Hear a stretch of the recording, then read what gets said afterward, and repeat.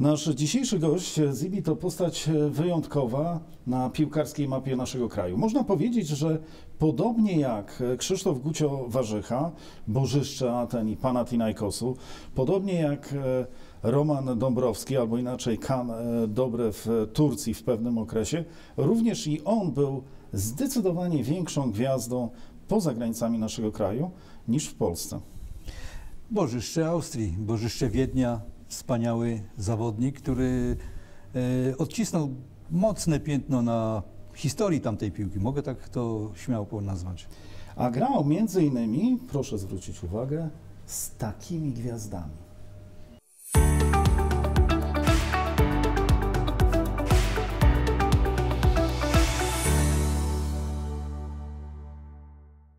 Silesia Sport News, wydanie kolejne. Dziś gość wyjątkowy. Gość, którego przedstawię za chwilę. Najpierw rozpocznijmy tak z wysokiego C. E, Pytanie do Zbigniewa Cięciały i naszego e, gościa. Odpowiedź proszę jednym słowem, tak lub nie. Czy reprezentacja Polski prowadzona przez Jerzego Brzęczka awansowałaby do drugiej rundy Mistrzostw Europy? Rozpoczynamy od naszego gościa. Radosław Gilewicz, były asystent selekcjonera Jerzego Brzęczka. Tak lub nie? Tak. Zbigniew Cięciała, współprowadzący program Silesia Sport News. Tak. Robert Walczak, współprowadzący program Silesia Sport News. Tak. Radek, biało-czerwoni liczymy, że oczywiście zakończą e, te baraże sukcesem, a teraz, a teraz zajmiemy się Tobą, przyjacielu. E, w, tak jak zapowiedzieliśmy w podprowadzeniu. Mm, Radek, można powiedzieć, że mm, Twoja kariera bardzo fajna, mm, trochę może e, zabrakło Cię w reprezentacji Polski, zabrakło przynajmniej tej e, jednej bramki. Niemniej e, na pewno się zgodzisz z tym, że byłeś piłkarzem zdecydowanie bardziej popularnym w Austrii, aniżeli w Polsce. Czyli potwierdzisz chyba to nasze zdanie, że ty jesteś takim Krzysztofem Warzychą, ale trochę później, bo on wtedy w Atenach, jak grał w Panathinaikosie, był Bogiem. Wystarczyło pojechać 20 lat później do Aten i jak się mówiło, że jesteś z Polski, to od razu pojawiały się dwa nazwiska, Warzicha, Wadzik. E, Twoja kariera jest też podobna trochę, może w mniejszym stopniu do Romka Dąbrowskiego, znanego Ci mm, piłkarza, który no, zmienił nazwisko w Turcji, wiodło mu się bardzo dobrze, najpierw jako Roman Dąbrowski, a później jako Kan e, Dobre. Nie żal Ci tego, że to nie w Polsce, a w Austrii? Wiesz co, czy żal? Nie, szczerze mówiąc nie, bo jest zdecydowanie trudniej cokolwiek osiągnąć za granicą niż w Polsce i to, i to trzeba tak to e, ocenić. Ja to tak oceniam. E, będąc za granicą, zagranicznym piłkarzem jest podwójnie ciężko. Musisz być lepszy od tamtego piłkarza, który, tego rodzimego piłkarza, więc to jest y, bardzo trudne. Mi te 14 lat dało bardzo dużo ze sportowego punktu widzenia. Wydaje mi się, e, jeżeli chodzi o ligę, tak jak wspomniałeś, osiągnąłem bardzo dużo, bardzo Cztery dużo jak na mnie. mistrza, Tak, y, jeszcze puchary wrócę- do tego, tak, tak, strzelców, y, najlepszy piłkarz ligi. Tak, tak, tak. To są te rzeczy, które, które no, przeszły do historii. To jest, to jest piękne. Jeszcze udało mi się, udało, może to jest złe słowo, ale mm, z VfB Stuttgart zdobyć też, być częścią zespołu, fantastycznego zespołu, kiedy zdobyliśmy Puchar Przejdziemy do Niemiec. tego tematu. Dobrze, Przejdziemy. dobrze. Więc y, mm, y, to są te rzeczy, które ja niesamowicie e, szanuję, tak? I doceniam. I tak jak powiedziałeś, tak, ja przyjeżdżam do Austrii, wjeżdżając jutro, pojutrze, czuję się jak u siebie w domu. A mam tam znajomych, przyjaciół i do tej pory wspominają czas, jak obojętnie gdzie się pojawię, na jakim meczu, czy na Austrii Wiedeń, czy, czy w Innsbrucku, czy, czy w Linz, już tego klubu, gdzie ja grałem na samym końcu w Pashing. yy, Jest naprawdę miło e, i tak nieskromnie już powiem, że o, legenda przyjechała. Jeżeli to Super. mówią chłopcy, e, no to jest to naprawdę bardzo, bardzo y, przyjemne. Wiadomo, nie chcę się porównywać do Krzysia Warzychy, bo tam są inni kibice, tam są fanatyczni kibice, oni reagują troszeczkę inaczej, ale uważam, że i tak sobie lubię sobie w- przede wszystkim na święta powspominać każdego, każde święta mam, mamy, Płytkę mamy ten włożyć. czas, tak, zwolnić troszeczkę wszyscy, wyciągamy sobie albumy, wyciągamy sobie jakieś tam kasety, już VHS nie ma, tylko są inne możliwości, więc y, to jest piękne. To jest piękne, kiedy, kiedy włączę sobie, oglądam, delektuję się i mówię, kurde, jaki to był piękny czas. Mhm. Słuchajcie, jakby to był piękny czas, kiedy, kiedy strzelasz gole, kiedy y, em, grasz tam dobrze, jest ta frajda. E, w 100% nie jestem spełniony, absolutnie. Jestem samokrytyczny. Zawsze byłem i do tej pory jestem samokrytyczny sam do siebie i mam żal do siebie, że ten aspekt y, e, reprezentacji mi nie wyszedł, bo było, było coś więcej, tak? Mhm. Można było coś więcej, absolutnie, absolutnie. Zibi? No ja byłem akurat jak e, w Wiedniu, jak Radek był gwiazdą Austrii Wiedeń i akurat byłem przy, w momencie, gdy przyjmował Radek jako rodak e, do zespołu Sebastiana Mile. Radek może mnie poprawi, ale chyba 12 z różnych, e, 16. 16 reprezentacji zawodników w samym, w samym Wiedniu, tak? w samej Austrii Wiedeń. Na 24. Na 16 24. reprezentantów Radek kraju. Gwiazda. On do dzisiaj jest tam gwiazdą, do dzisiaj go tam wszyscy pamiętają, a my zawsze trochę tak e, lekceważyliśmy tą austriacką ligę, a ja przypomnę, że był taki moment, że mnóstwo, mnóstwo, no, jak na dzisiejsze czasy, y, grało znakomitych zawodników Austrii, e, W Lech Gracu, Woń, Lech Woń, Szamotulski, tak, oczywiście. Mhm. e, Tomek Iwan, Marek e, Świerczewski, no tak można, e, no także można, by- tak i to były naprawdę, tam byli to bardzo wartościowi piłkarze i, i i my ich tutaj jakby nie docenialiśmy, że to Austria, nie wiem, niższa liga, niższa niż Bundesliga oczywiście i, i Liga Angielska, ale, ale tam naprawdę robili znakomitą e, reklamę dla polskiej piłki i, i do dzisiaj, no bo można pojechać do Wiednia i tam jest Izba Pamięci, gdzie, gdzie właśnie Radek jest bardzo mocno eksponowany. Coś w tym jest, bo, bo do dzisiaj też e, akurat byłem w Atenach i, i, i, mam em, to doświadczenie, że wszyscy Gucio Warzycha, Tak. Jacek Gmoch i No, Wandzik, to ci starsi to Wandzik też, wypomną- ale ta- ta dwójka powiedzą, i- i- powiedzą jeszcze o Kazimierzu Górskim. E, wspomniałeś Bundesliga. E, Radek, wyjechałeś e, z... Najpierw były Tychy, później był Ruch Chorzów, bardzo dobry sezon. E, 15 bramek e, w sezonie. Wyjazd, może nie, nieco nieoczekiwany, do St. Gallen. Mm, I później To jest ciekawa historia, mogę I Ci później, opowiedzieć. proszę bardzo, i później przejdziemy do Bundesligi. Dobra. Mhm. Słuchajcie, to była rzeczywiście bardzo ciekawa historia. To był ogólnie trudny czas. Wszędzie jeszcze był, przypominam, e, ten czas w każdym klubie w Europie grał po trzech obcokrajowców. Czyli w każdym z klubów tych topowych lig i nie tylko, tych średnich lig, było praktycznie e, sami reprezentanci kraju.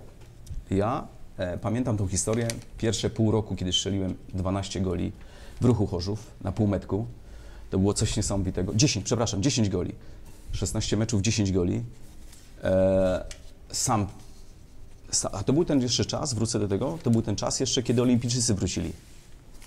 Kiedy wiadomo, te złote polonezy to było naprawdę fantastyczna sprawa. Same gwiazdy, które, które były, można powiedzieć, na tym piedestale, to wszystko, wszystko się kręciło wokół nich, a moja skromna osoba tak e, z boku, z boku wskoczyła. Zaskoczyłem od razu e, po moim rozczarowaniu i nieprzyjęciem do, do Widzewa Łódź.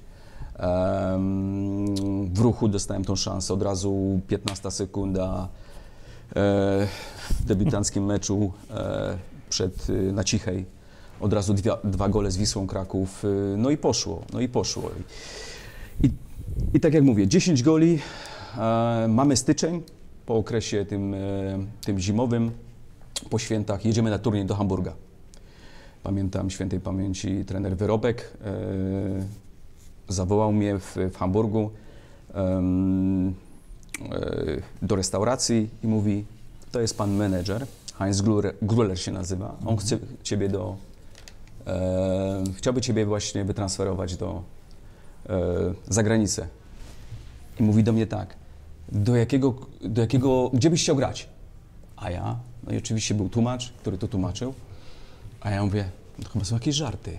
Przecież ja, chłopak, który pół roku temu grał w trzeciej lidze w Tychach, tylu olimpijczyków jest i tu się mnie gość pyta, gdzie bym chciał grać. Tak sobie siedzę, pamiętam tak dzisiaj, mówię, to pan, mu, to pan mu powie, że ja chciałbym grać w Szwajcarii, bo tam kiedyś moja mama była i to jest piękny kraj. Ja to powiedziałem na odczepnego.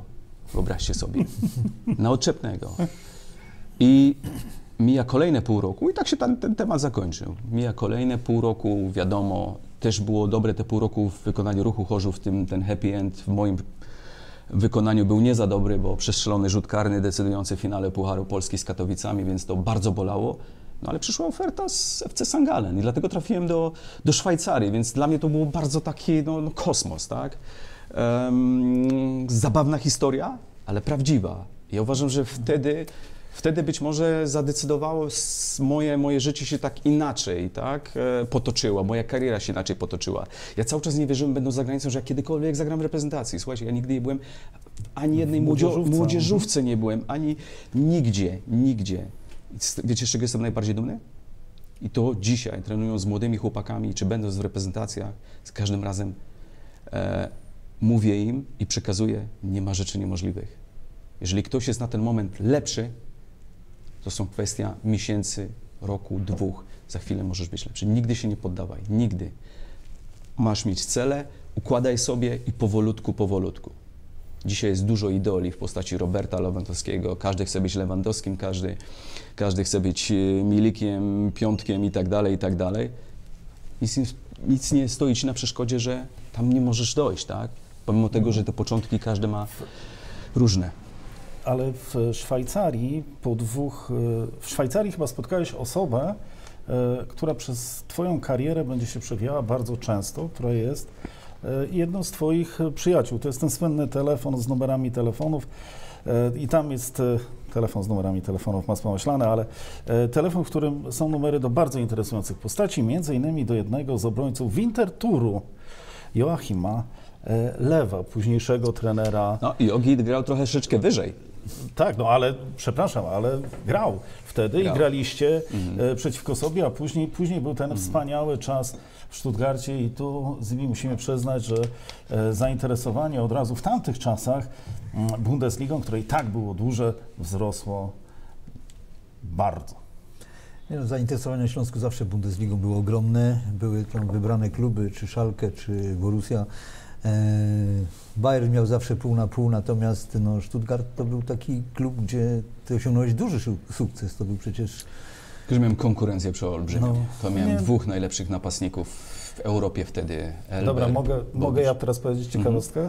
E, pracując w Radiu Flash, wielokrotnie do Ciebie dzwoniłem tam po jakieś informacje o meczu. My mieliśmy w radiu wtedy Bundesligę, Arek Oleksy e, ją prowadził. No i zawsze po tydzień po tygodniu, w tydzień w tydzień był e, rozmowa z piłkarzem Bundesligi. I ja kiedyś do Ciebie zadzwoniłem i mówię, Radek, dlaczego masz taki problem z e, graniem? A ty mówisz, słuchaj, no jest Freddy Bobicz, jest Giovanni Elber, jest e, Bałakow, no Bobicz i Elber, no sorry, nie ma szans. Ja mówię, to co musi się stać, żebyś ich wygryzł ze składu? A ty wtedy byłeś na zgrupowaniu i mówisz, chyba bym musiał jednego wyrzucić przez okno. No i to, to taka, to taka, to takie Ale słuchajcie, widzicie, ja sobie później naprawdę dużo, e, dużo z nich, te, że tak powiem, mm, wziąłeś. Wziąłem, tak, tak, to jest dobre słowo, tak się zastanawiałem właśnie, jak to, jak to, jak to ugryźć. Yy, Dużo przede wszystkim Giovanniego podglądałem, bo wtedy on był kompletnym, kompletnym napastnikiem na tamte czasy. To potwierdził później przechodząc do Bayernu. E, No, genialny piłkarz, więc wydaje mi się, że nawet jeżeli bym został później w Bundeslidze, bo zostałem e, w Karlsruhe, gdzie mieliśmy początek fantastyczny. Fantastyczny. Byliśmy po siedmiu kolejkach na pierwszym e, miejscu, tylko coś się później popsuło i w 34 spadliśmy. Ale to był też również fantastyczny e, czas i, i tak naprawdę mój zaczęło to wszystko prezentować w lidze austriackiej. Oczywiście nie była to Bundesliga niemiecka, ale to była solidna liga i to nie była prosta liga.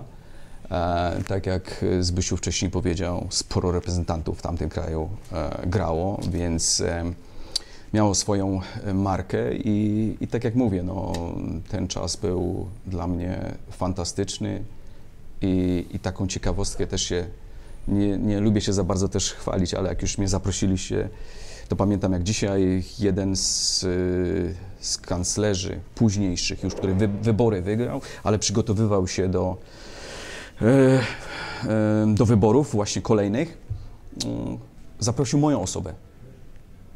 Czyli byłem na telebimach z hasłem, jakbym mógł wybierać, a nie mogłem, bo byłem oso- obcokrajowcem, to bym wybrał kanclerza, już kurczę, więc bym się musiał ten, e, przypomnieć sobie, jak on się nazywał. e, to bym wybrał tą i tą, tą. E, imię i nazwisko powiedziałem, jakbym mógł wybrać w tym sensie. I to było na tych billboardach dużych e, w Wiedniu, nie? Później dostałem oczywiście te wybory, nie przeze mnie, ale wygrał. I dostałem taki piękny pożeg- znaczy, po, e, e, podzięk- Podziękowania. podziękowania, tak. Także kurczę sobie mówię, ja pierdzielę, no gość z Polski jest wciągnięty właśnie w takie może sprawy polityczne, to jest też na swój sposób, ale, ale Ale miłe. jest ważnym elementem tego kraju, tak? Tak, tak. Ale tak dlatego sobie strasznie to doceniałem, dlatego szanuję ten kraj e, za wszystko, co mi dał ogólnie i, i, i tak jak mówię, em, nigdy nie dam złego słowa na nich powiedzieć cokolwiek, będę ich bronił, bo to są fantastyczni ludzie. Zibi, jak e, słyszysz, no gość nam się dzisiaj trafił wyjątkowy, a, a czas niestety ucieka. E, Gość znakomity, świetnie opowiada, ale myślę, że te najważniejsze rzeczy, prawdziwe, sensacyjne historie, których do tej pory nigdzie nie publikowaliśmy, nigdzie nie rozmawialiśmy o nich, myślę, że to dopiero przed nami, dlatego zatrzymajmy się na chwilę. E, No i teraz, e, Zbyszek, co? E, Jak to było z tymi łapkami? Łapki w górę oczywiście. Ale jak będzie też łapka w dół, to my o tym będziemy wiedzieć. Prosimy o informację, co musimy poprawić. Niebawem Silesia Sport News, Radek Gilewicz, część druga.